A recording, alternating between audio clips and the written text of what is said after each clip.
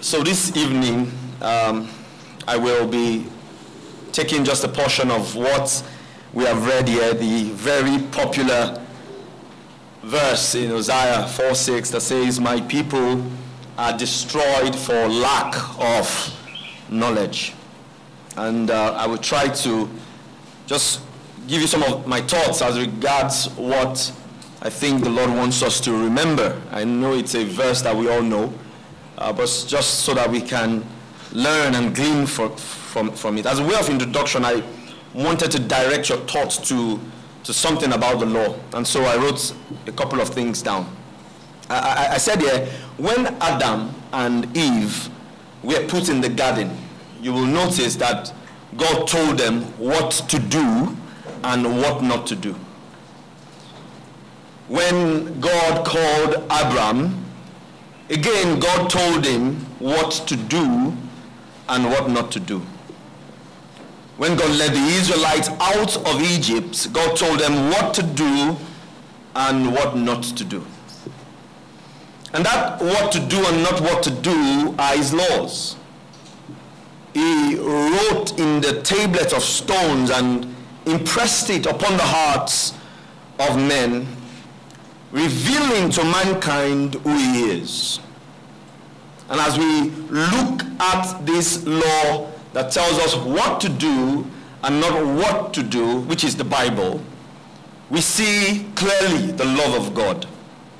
Clearly, we see the holiness of God, the justice of God. We see his mercy. We see his power, his sovereignty, his grace, and his wrath.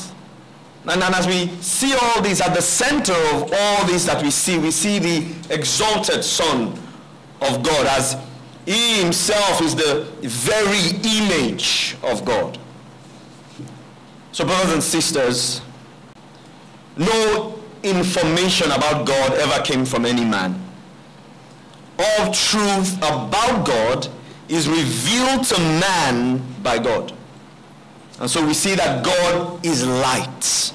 And that means God is knowledge. And we are darkness. And that means we are ignorant and dead. So God is the one with all the knowledge. And just even generally speaking and thinking through this, which of you know of a country where there is no law? Do you know of a family where there is no law, where the children can do whatever pleases them? Can you, for a moment, imagine Lagos without law? Chaos, isn't it? Chaos. So if human laws are so beneficial, how much more the laws of God?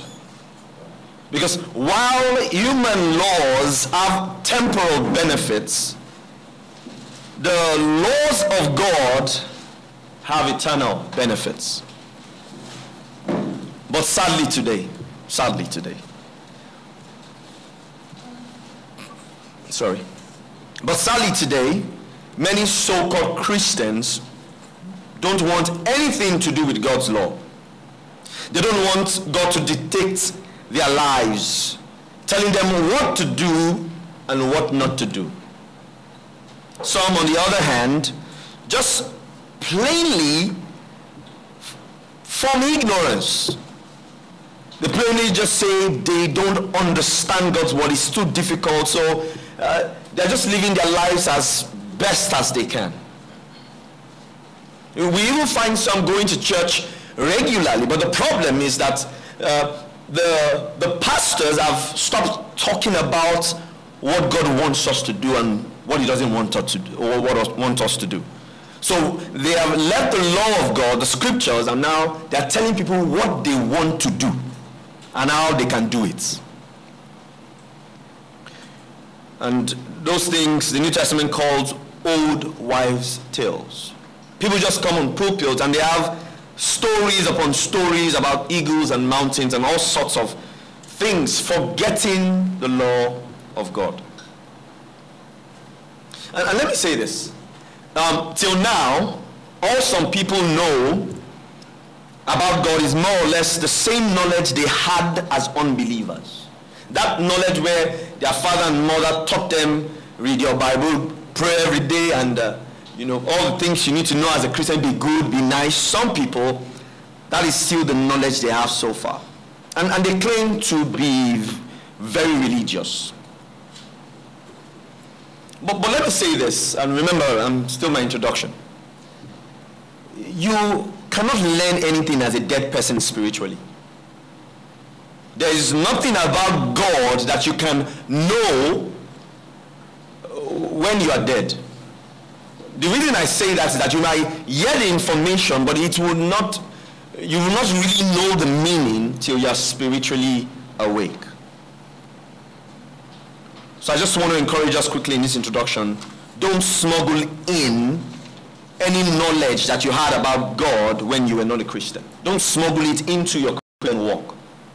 Be one that is open to learning about the law of God. That passage that you know very well, now that you know that you've been a Christian, check it again and understand what is there when you come into a new family or a new country or a new kingdom, uh, there must be of necessity some form of orientation. And this is talking about the laws, the do's and the don'ts of that country.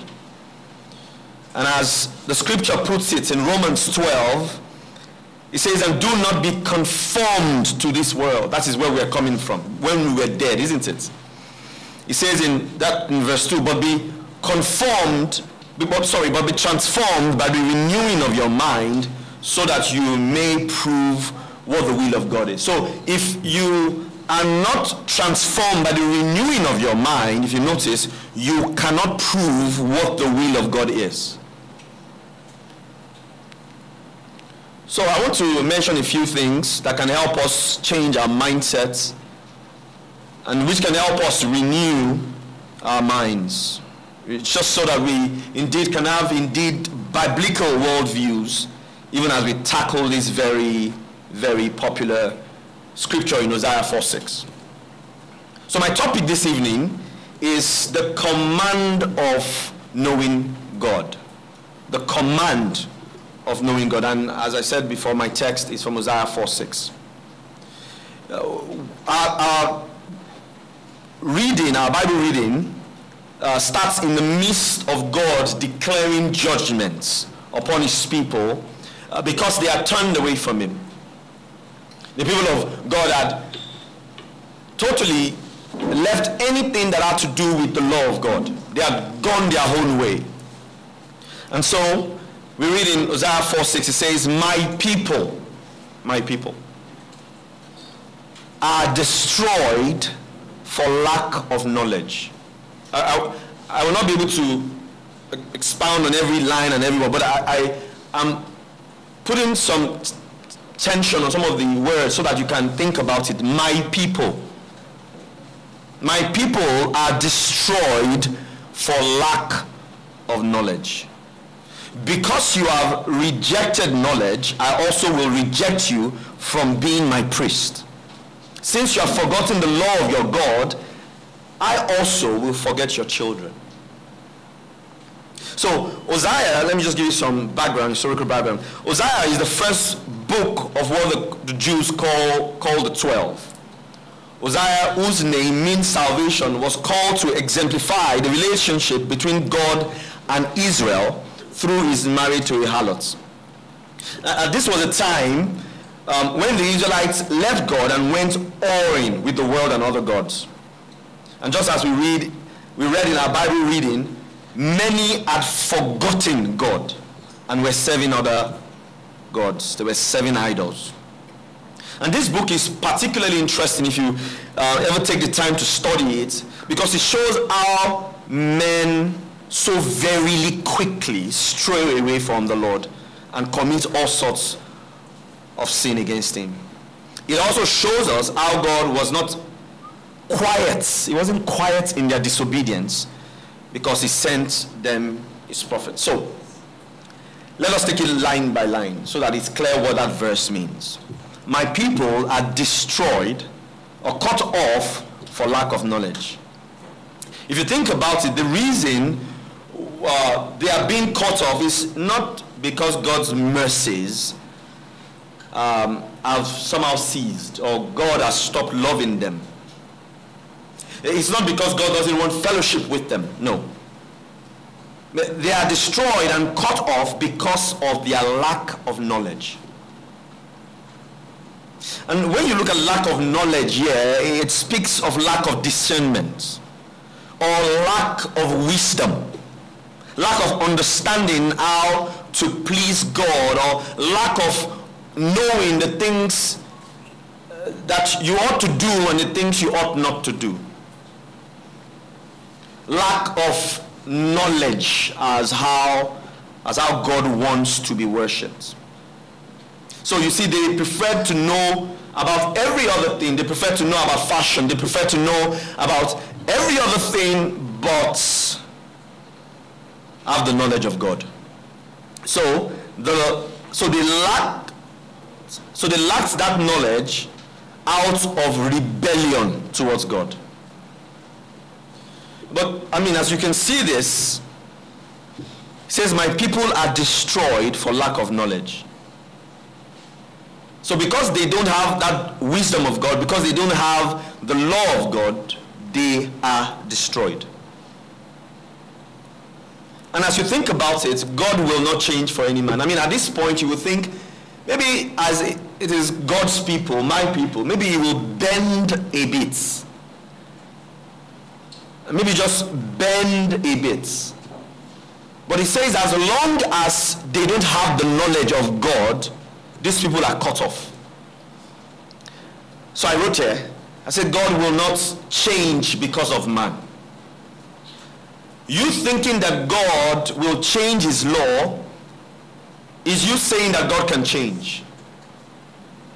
God is one with his law and the law of God displays his character and reveals to us who he is. So God is not going to change his law. Sin will always be sin. In, in Psalm 33 verse 11, the Bible says, the counsel of the Lord stands forever. The plans of his heart from generation to generation. So it's an everlasting law. It's a divine law. And so man without the law will be cut off. Man without the law will be destroyed. It is the rejecting of the law that brings destruction. That's another way to put it. The rejecting of the law that brings that destruction. You remember John 3, 19. This is the this is the judgment that the light has come into the world and men loved darkness rather than light, for their deeds were evil. You, you see the point? There is light, but men will say no to knowledge and will prefer ignorance of God, thinking that they can hide under that, that guise. So my people are destroyed for lack of knowledge. So I, I hope you see why and how people will be destroyed. Some people say that, you know, you, you can have a good heart, for instance, and never know about Christ, and somehow you'll make it to heaven. Some people say, uh, out of all the millions of people that don't know about Jesus, and they are good people, are you telling me that they will go to hell? Some even argue that you don't need to know so much about Jesus. The minute you just at least know, you know, that Jesus died for your sins, then that is all well and good.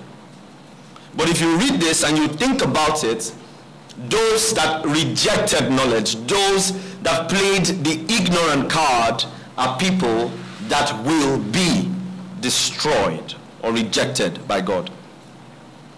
So the next line is interesting. It says, because you have rejected knowledge, I also reject you from uh, being my priest. So it's saying the same thing, but he looks at it now from a different angle. Because you have rejected knowledge, I also will reject you from being my priest. And the, the, this reject here is what we've been trying to talk about. It is, it is to treat something with disgust. Or something, you hear something and it's repulsive to you. Or you hear something and it's disturbing your flow. You hear something about the law of God or the command of God and it doesn't sit well with you because it's maybe too difficult or it's sounding too legalistic. So the rejection, yeah, as we see, is to abhor the law of God. The rejection of God's knowledge, as our passage, passage indicates, results in God rejecting us. And just so that you can see some examples, we see an example we saw. King Saul being the first king of Israel, isn't it? Going on his own way looking for his father's donkeys, isn't it? Yeah? And he was anointed by Samuel. But King Saul later on refused to obey God or accept God's authority. He became law to himself. Thinking himself wiser than God, at every command God gave him, um, he began to, in a sense, neglect or forget God's law.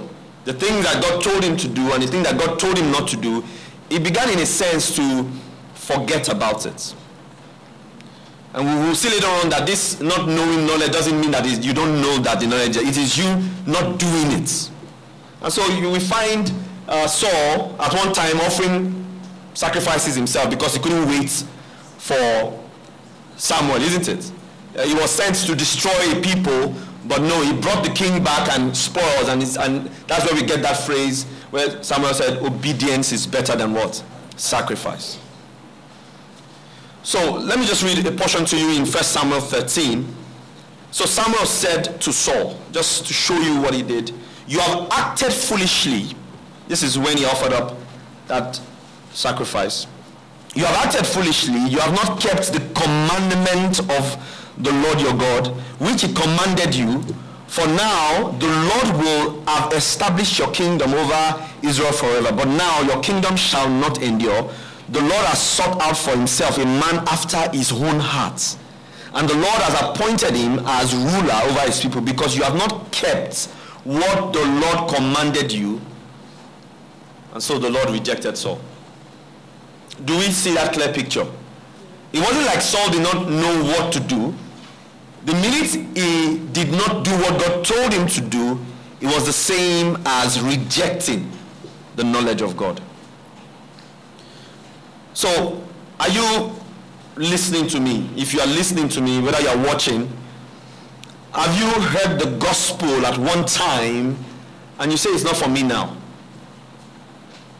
Maybe someone told you about that vicarious work, that substitutional work of Christ, and you say, uh, that doesn't concern me. My belly now is aching, and so uh, the, the gospel isn't so important. Or maybe you've heard the gospel preached so many times that you now despise it. It's not a big deal anymore. I don't know if you if you go out to evangelize, do you see that? You talk, one talks about, about the gospel, they're like, ah, these are things we know. You despise the ordinances of God. My brother and sister, the fear of God as we know is what? The beginning of knowledge. So let me tell you, or better still, let me show you, God responds to those that despise his word. Those who reject his gift in the person of Christ. Those who will not repent from their sins and turn to Christ as he has commanded in Leviticus. So the picture I'm trying to paint to you is that this Bible must be embraced.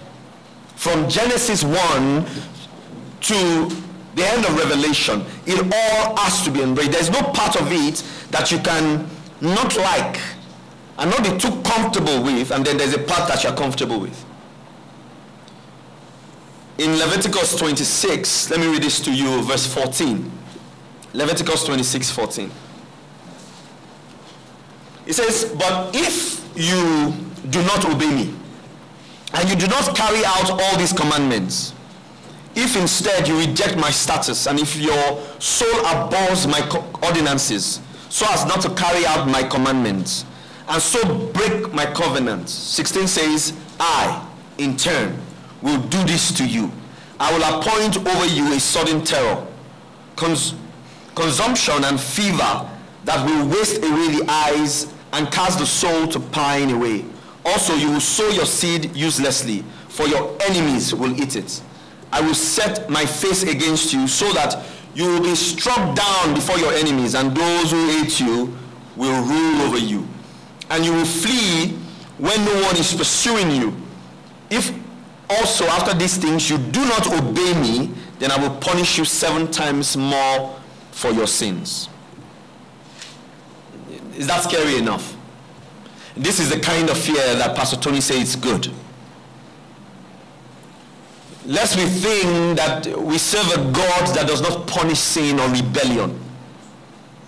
When God gives a command in his word, we are to obey that command. We are not to edit it. We are not to modify it. We are to do what the law says as prescribed. I mean, if you think about Saul's story, I mean, the point was offering up sacrifices, Sabi, and Saul was not there, and he just did it. It's not like he did something else, isn't it? The, the point was destroying the people and shaming them, isn't it? And so he, he killed everybody, left only the king and brought good things. That small modifying or, or, or editing is tantamount to this. But as we read all this and we have that godly fear that we should have, let me remind you that it's not God's desire that anyone should perish, but that all may come to repentance. And that is why he sent Hosea to the Israelites. And that is why you are hearing this today. That you may repent of your sins and turn away from the world. You've heard it so many times. The world killed our Savior. Repent from the world and turn away from sin. But you have some sins that you're still keeping somewhere. The Bible says repent. Repent. That, that is the law of God. That is the command of God to you if sin is still the order of the day for you. If you are still basking in worldliness and hatred for your brother and you don't care about the things of God, this is God giving you another chance. Repent. Turn to me. Confess your sins and leave all those wicked ways, the Lord is saying. Because God will reject those who reject his knowledge. And as you, if you look closely at the line we are in, it says, because you have rejected knowledge, I also will reject you from being my priest. So God rejecting his people for being his priests can mean two things. And the first is what I think is majorly talking about. That the Lord will reject their worship because they have rejected his knowledge. Does that make any sense? It's still the same story I'll, I'll push to you. Saul. Saul made a sacrifice. You know what was a sacrifice? But God rejected it because he didn't do it in accordance to the knowledge of God or to the things that he's supposed to do and the things he's not supposed to do. And I, I remind you again the reason why God has not unleashed his full wrath upon those who have not believed yet. It's not because the Lord is slow. It's, don't count his patience, as I wrote here, as slowness. To act or, in, or don't count his, his, his, his long sufferingness as inability to act. It's because he wants you to repent now. Repent. Is there something in the law of God that you're still fighting with? Is there maybe a doctrine of grace that you for some reason don't agree? It has been shown to you in scriptures, but you just feel it's not gelling with you. The Bible is telling us here to submit to the knowledge of God, to the law of God.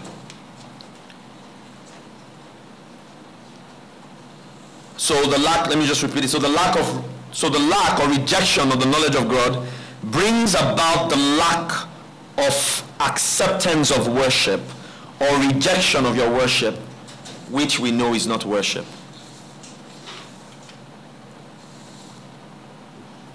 So, what are we saying? You cannot serve God in ignorance. If you think that Christianity is you clocking two hours every Sunday in church, that is not Christianity. No, no. You cannot serve God in ignorance. I, I mean that in two ways. You won't know what to do, and that ignorance itself is already a form of rebellion. Or better still, you cannot serve God by doing what you please. You cannot claim ignorance because he has revealed his word to you. But as I said, that's the first part that we can apply to ourselves such that our prayers uh, become nothing. In ignorance, if you pray not according to God's word, God will not hear you, for instance. Do, do you understand that? If, if out of just pure ignorance you do that, or whether out of rebellion, refusing what the Bible has said, how we ought to pray, God will not accept your prayer.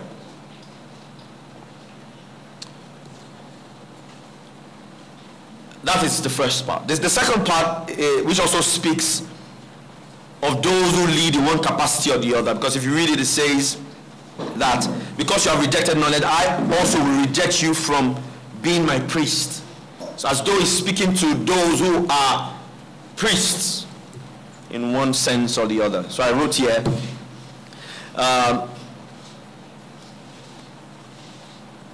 but it, is, it also speaks to those who lead in one capacity or the other in the church, especially pastors or, or elders.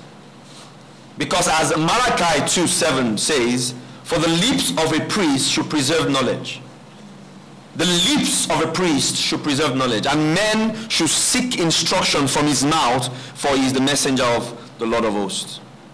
But because they have rejected knowledge, as we see many do in our country and all over the world today, they are busy, because they have rejected that knowledge, they are busy teaching, teaching people things that do not accord with sound teaching of the scriptures. They, they bring in psychology and uh, bring in business strategies and motivational speaking uh, and, and, and teaching principles that tickles people's fancy. By doing this, they despise the knowledge of God and turn people aside from the way, thereby causing many to stumble and corrupt the gospel. And hey, we must ask ourselves also as BCM teachers, as, as those in the campus and secondary schools, are we teaching the knowledge of God? Or are we taking likely that we can go there and just freestyle with the children? Is there some thought to what you're doing, ensuring that you are not in any way saying what the Bible is not saying? Jesus made it clear, very clear in Luke 17, 12. It will, rather, it will be better for him if a milestone were hung around his neck and he were thrown into the sea than that he would cause one of these little ones to stumble. I hope so far I'm clear. So far I'm clear. Let's look at the last line in this verse that we are going through. So uh, we've looked at my people are destroyed for lack of knowledge. Because you have rejected knowledge, I will also reject you from being my priest. The last line then says, since you have forgotten the law of your God, I also will forget your children. Forgotten. To be oblivious of something. It indicates the knowledge has been lost to memory. The knowledge was there before, but time has softened the memory of that truth or that law of God. So are you well acquainted with the word of God or is it all become blood because you are now too busy chasing money? Uh, could you, could, are you someone that says in those days when we used to memorize scripture? Or because of some situation in your life, it's so difficult for you to have time for God's word. So you are, you are busy about your life. Because God's word can take a backseat. Or no, you, you know enough of the uh, means uh, of, the, of the doctrines of grace to last you a lifetime. So, you know, why study? Why bother going through the notes every... Why? I, I know, I know these things. You will forget. You will forget. The minute you have that mindset that you've known enough and that the knowledge you have about God is fine, you will forget. And we see here, since you have forgotten the law of God, I also will forget your children. If you read Matthew 13, it explains this, how people forget in Matthew 13, so it says, For whoever has, to him more shall be given. So it means that, okay, let me finish reading and explain it. Whoever has, to him more shall be given, and he will have an abundance. But whoever does not have, even what he has shall be taken away from him. This is you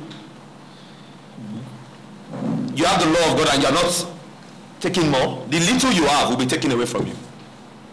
That's what he's saying here. And when it's, it is lost to memory or it has become something that is that its weight has been lost, then God will also forget your children.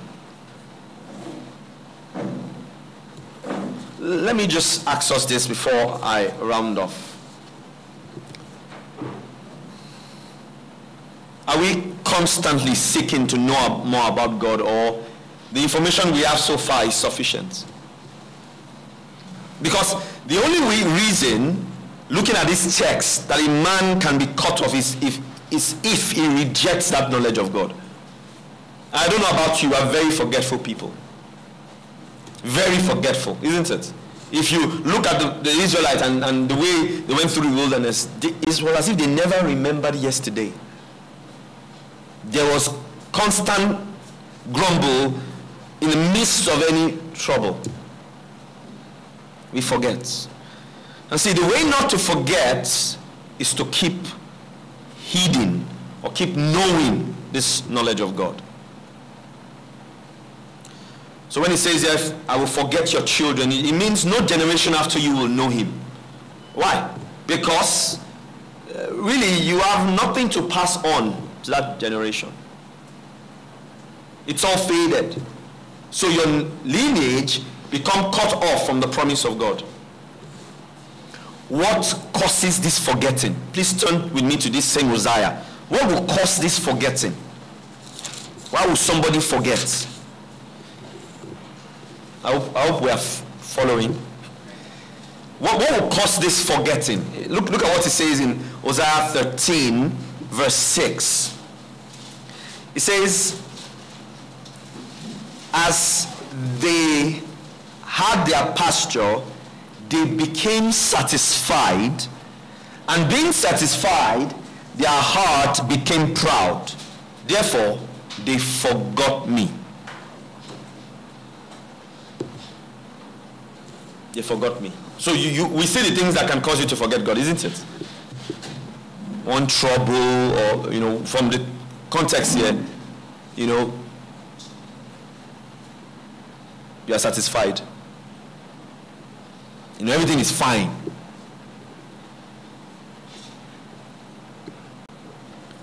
And your heart now becomes proud that I'm, I'm okay. I'm okay. And I can relate that to you knowing about tulip and saying you are okay. You are not okay. So my, my desire is to spur you up to want to know the law of God more. And I wanted to bring it to you in such a way for you to know it's not, it's not an option, it's not a, um, a suggestion. It is God's command that we all love his law and be knowledgeable. So my brothers and sisters, we have a personal responsibility to seek after God. We have a personal responsibility to be available for all the means God has provided for us not to forget his commands. I'm sure most of us know by now that there's nothing in Christianity like in those days. in those days. First Chronicles, First Chronicles, sorry, verse chapter 28, verse 9. First Chronicles 28, 9 as I close.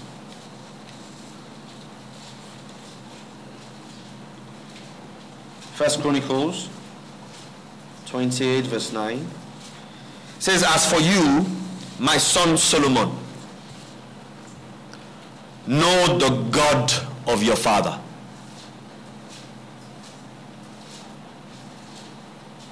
Serve him with a whole heart. I mean, it, it, it's not what I'm teaching, but can you see the, the sequence? Solomon wasn't told to serve the Lord, then know God. The Bible says, know the God of your father and serve him with a whole heart and with a willing mind. For the Lord searches all hearts and understands every intent of the thought. If you seek him, if you seek him, he will let you find him. But if you forsake him, he will reject you.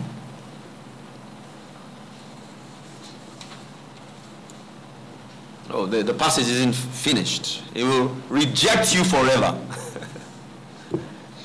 forever. 10 says, Consider now, for the Lord has chosen you to build a house for the sanctuary, to be courageous and act. If you just dissect this, you see that even ministry and working for the Lord starts from knowing God, worshiping God aright, and then taking that which you've experienced with God and you know about God and then telling it to the world. It's not the other way around. You, you cannot be effective in ministry if you do not know.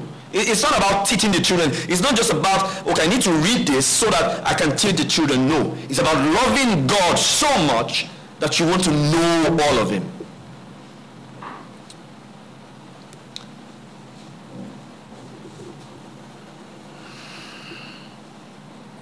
Hebrews 11, 6 8 says, And without faith, it is impossible to please him. Uh, Romans uh, 10, 17 help, helps us to, to make that clear in our mind. It says, it tells us how this faith comes. So faith comes from hearing and hearing the word about Christ. So if he says, my people are um, sorry. So he says, and without faith it is impossible to please him, what faith is he talking about? The knowledge of Christ. So I want us to be hungry for the scriptures. Don't be satisfied with the Sunday, Sunday tonic, as Pastor Femi used to put it. Let us be people that are searching out the Lord. Pastor Tony preaches, you don't understand, you go straight to him. You are searching out the things of God. I'll say this, and I'll say it clearly. The only reason why God will reject you is if you reject his son is if you reject his son.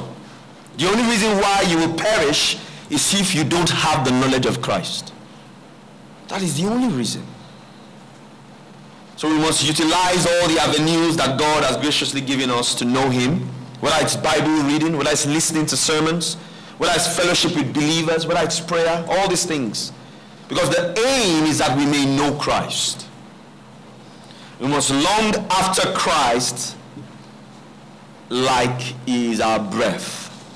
And he isn't he the giver of life? We must hunger after Christ like he is our food. For he is the bread of life. We must thirst for him, for he is the water of life. If we drink, we will never thirst again. Knowing him is all that matters, dear brothers and sisters, and this should be our greatest delight. I want to say to you, for a man to come to Christ, he needs to know Christ. For a man to stay in Christ, he needs to know Christ. We must truly desire to grow in the knowledge of God. And as we read this again, my people are destroyed for lack of knowledge because you have rejected knowledge uh, I also will reject you from being my prince. Since you have forgotten the law of God, I also will forget your children. Let it be a, a means of just reminding us or, or waking us up if we are asleep. To say, no, this is not what God has called. God has not called me to ignorance. He has called me to knowledge. And let us stand up and truly know our God. Amen. Let's bow our heads. Uh, let's sing first, sorry, and then we pray. sorry. In one, in 357,